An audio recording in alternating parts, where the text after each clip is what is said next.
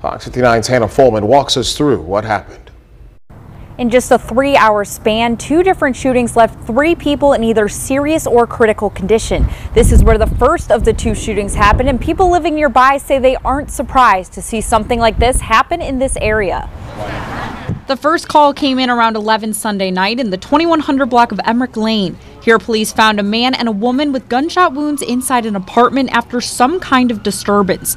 They were hospitalized and expected to be okay. Police detained a person of interest but released that person pending further investigation. Then, just three miles away, around 2 this morning, shots were fired at a gas station on 29th and MLK. Here, police found a man who had been shot in the leg. He was taken to the hospital in critical condition. This is the same intersection that saw a double fatal shooting back in November. Not much is known yet on what led up to this shooting. We want to remind people that if you're having some type of disturbance with individuals or you're frustrated, not to resort to firearms and to find another means of resolution. Anyone with information on either shooting is asked to call Crime Stoppers. Reporting on the near west side, Hannah Fullman, Fox 59 News.